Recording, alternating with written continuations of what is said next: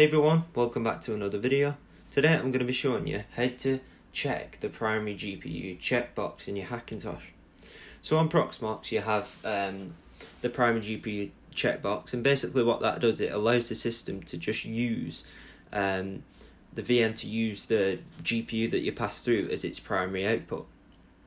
So this is useful if you're on your Hackintosh and you just want it output into the display and not the VNC console. But if you are on an, uh, especially if you're on an NVIDIA card, what you need to do is change some BIOS settings. So, um, otherwise, you won't get a display output until you've installed drivers and macOS is fully booted. So, I'm just going to do a quick demo now. So, if I click Start, in a few moments, you'll see on screen the actual Proxmox um, output. So, as you can see there, it's just outputting like a normal machine. Um, so it's just going to boot into macOS as normal, and basically, um, that's it. That's the um, that's the output. So that's what we're going to be doing today, because a lot of you have problems with actually getting the GPU to work and the drivers to install. So I'm going to show you how to fix this.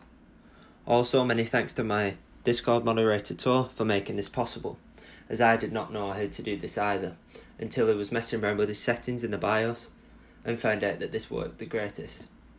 So, what we're going to need to do is go into the BIOS.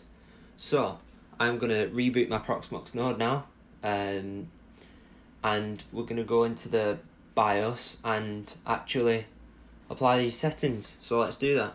So, if I now press the power button on the machine and hold F2, which is my BIOS key, if you're unsure of what your BIOS key is, please just type in, for example, Asus B450F Gaming BIOS key. So you can see here, um, we're in the BIOS. So this is a second gen i7 that I use for my server because that's all I need. Um, but basically, we're going to go over to configuration, video, and then these are the settings you want. So it'll be under your integrated graphics controller. So for the integrated graphics de device, I've got it as enable if primary. So basically, the GPU installed, it will not enable the Intel graphics. So set the integrated graphics display minimum memory to 64 megabytes. And then the adapter, the primary one, is going to be the integrated graphics. Now you might think, are you sure? Yeah, so basically Proxmox will then boot using the integrated graphics and it will not boot then from the GPU because Proxmox is reserving that GPU. And also you can just set whatever you want for that um, and you can do that. Um, but once you've done that and set it off, just go to exit, save changes, Y, and then now it's going to uh, reboot into Proxmox. So um, you've actually um, got to give it a moment, and then we're going to head onto the Proxmox web interface, and I'm just going to show you um, what to actually do to get this uh, feature now working. So you can see I'm booting back into Proxmox on my main server, um, which is probably the reason that the website's down if you try to access it around this time. Um, and I'm going to just use my KVM switch for my keyboard um, just to get back into Windows. So, um, I'm just to switch back over to my GPU output on Proxmox. So it'll be a black screen.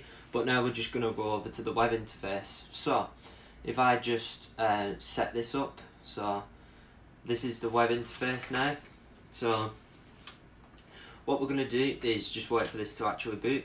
Um, and then we're just to um, obviously this guide is assuming that you've got GPU pass-through working, uh, so enabling IOMMU in the BIOS and in Proxmox, and uh, having the drivers installed and stuff like that. So all you need to do is go to the VM that you want to pass through, so this one, and then yours might be like this. All you need to do is just check primary GPU. Then, if we go back to our video graphics output, click on start, give it a moment for Proxmox to actually start up um, and you'll see something like this. You can see the Proxmox logo, this will be on your display output on your HDMI or DisplayPort, whatever. Uh, but you can see that it's booting just as normal. Um, so I hope you found this video useful. If you did, please leave a like. But if you can't really get yours working and your BIOS settings are different, please join the Discord from the link below and create a help post. So that'll allow us to, uh, you can provide screenshots and we can help you. But that's going to be it for the uh, video. Thanks ever so much for watching. We're so close to 3,000 subscribers. So if you would like to, please subscribe. Thanks ever so much for watching this video. Goodbye.